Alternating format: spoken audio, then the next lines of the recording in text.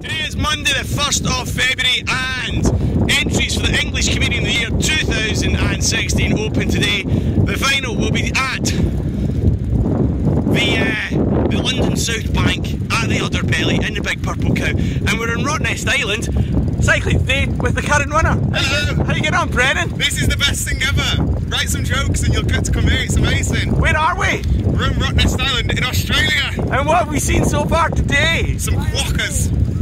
What's a quokka? It's like a cross between a rat and a kangaroo. There's one. There's one there. Hello, Jenny. right, not so much of a kangaroo, just a rat. So, tell us about your first week here in Australia. It's the best thing ever. It's like better than driving to Hull, and it's dead nice, and people come and watch the show, and it's just brilliant.